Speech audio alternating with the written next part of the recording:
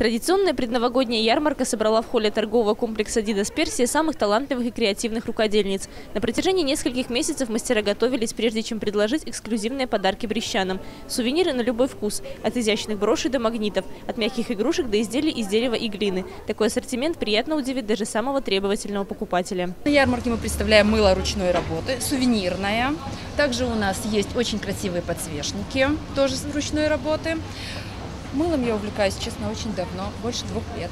2018 год, согласно восточному гороскопу, год собаки. Именно поэтому среди всего разнообразия предметов интерьера и декора можно было без труда найти целые витрины с вариациями изображения этих четвероногих. Очень большой выбор изделий в этом году, очень хорошая организация, место хорошее, уютное, теплое. Ну, мы каждый год здесь участвуем. Большое спасибо организаторам. Торговый комплекс «Дидас Персия» принимает такие ярмарки мастеров несколько раз в год. Как правило, в преддверии Рождества и Пасхи. Ежегодно они увлекают тысячи горожан, которые приходят сюда не только чтобы приобрести подарки, но и поучиться их делать своими руками. В этом году мы участвуем в выставке с мастер-классом по росписи пряников.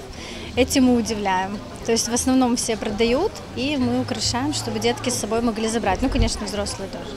Ярмарка мастерий стала одним из ярких финальных творческих мероприятий года уходящего. Она подарила и гостям, и участникам приятное ощущение сказки и волшебства, которое в новом году обязательно должно поселиться в домах тех, кто искренне верит в чудо.